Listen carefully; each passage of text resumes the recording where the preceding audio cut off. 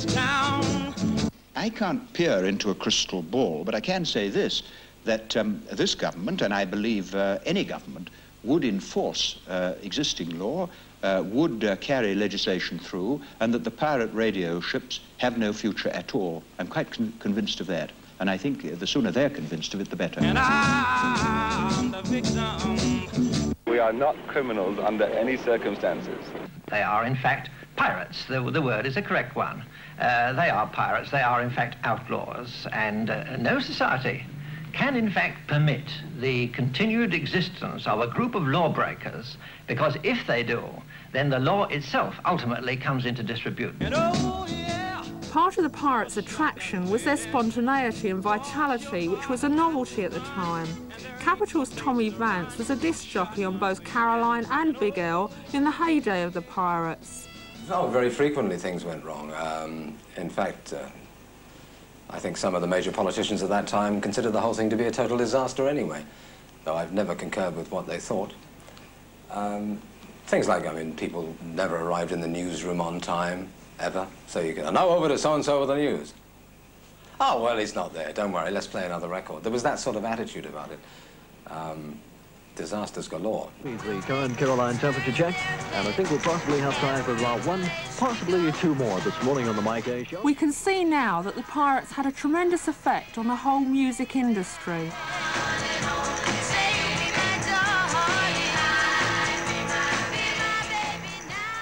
effect of Caroline on the whole rock music thing of the 60s was like so enormous. I mean, I even had uh, people like George Harrison and John Lennon say to me at various times, you know, that, that the input was just enormous, the impact of that. And it sort of suddenly made England a music, you know, suddenly was musically conscious on a pop level. Caroline Sure Shot! It's hard to overestimate the effect of the enormous increase in exposure the Pirates offered to the music world. New smaller record companies got a chance to get their products heard, and many new bands like the Moody Blues, for example, owed much of their success to the Pirates. And the opportunities for advertising made the Pirates popular with the non-music world too. It was a leg in at a very cheap price for the small man, the small shopkeeper, the small guy, to get to get going, to get his business on the road. Couldn't buy television then because it was a thousand pounds a second or whatever, but he could buy Caroline, and, and, and all of that, you know, on that level was terrific as well. I mean. Advertise on Radio Caroline and make 1965 your boom year. Sell on Radio Caroline. And as for the pirate chiefs themselves, they weren't exactly short of a bob or two. Well, it was just enormous. I mean, it was just ridiculous. It was, you know, it was, you know, there was just so much revenue that, uh, you know, coming, you know, to, to for three years, the Skull and Crossbones ruled the airwaves, filling the pirates' chests with gold and introducing to Britain the delights of all-day pop and giving a start to many of our best-known DJs. Caroline boasted Tony Blackburn, Simon Dee, Dave Lee Travis, Emperor Roscoe, Roger Scott, Tommy Vance and Johnnie Walker. Blackburn and Vance also worked for Big L, Radio London, as did Dave Cash, Kenny Everett, Ed Stewart and John Peel. Then, on the 15th of August 1967... The government introduced the Marine Offences Act, a piece of legislation designed to make it impossible for the pirates to continue. The two principal arguments for the 1967 Act were that unregulated broadcasting might interfere with emergency services, such as distress signals, and that anyway, the 1948 Copenhagen Plan, which had allocated all the European broadcasting frequencies, left no room for any further British radio channels.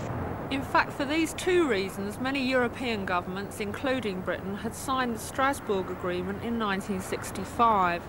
This meant we were honour bound to introduce legislation to protect European government authorised stations from interference by unauthorised stations.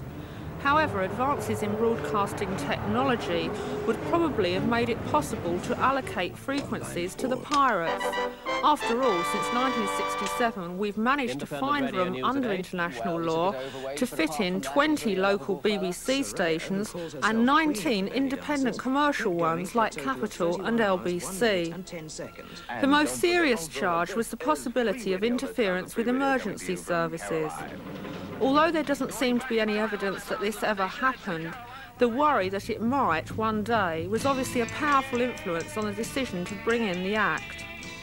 But was there another, more emotional reason for sinking the pirates? Sir John Foster, former MP and expert on international law, thinks so.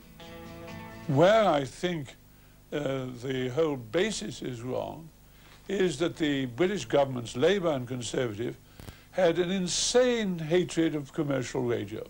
Insane. And so they allowed literally tens of millions of pounds, perhaps hundreds of millions of pounds from the start, from 90, from before the war, to go to Radio Luxembourg, uh, paid by English advertisers, when they could have set a pole up in London, called it Radio Ruritania or Utopia, and if somebody didn't like commercial radio, they could have listened to the BBC. Because I think that's the end of the argument. If you don't like it, you listen to something else.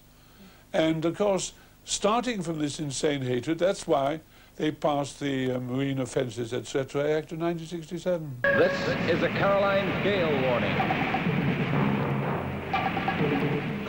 And so they all closed except one.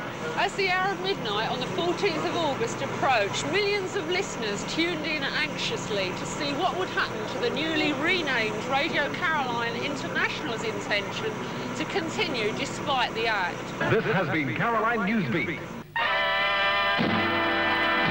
This is Radio Caroline. It is now 12 midnight. Welcome to the new phase of broadcasting from Caroline. I want you to remember something. That is, a station that belongs to you and is right cannot ever be taken away from you. And almost a decade later, she's still there. In part two, we'll be taking a closer look at the act and how Caroline managed to continue where the others have folded. Also, with a bit of luck, we should have reached the Mi Amigo by then, and we'll be able to see what she looks like and maybe have a chat with some of the people on board. I'll see you then. Please right now. Sing along, kid. 10, 9, 8, 7, 6, 5, 4, 3,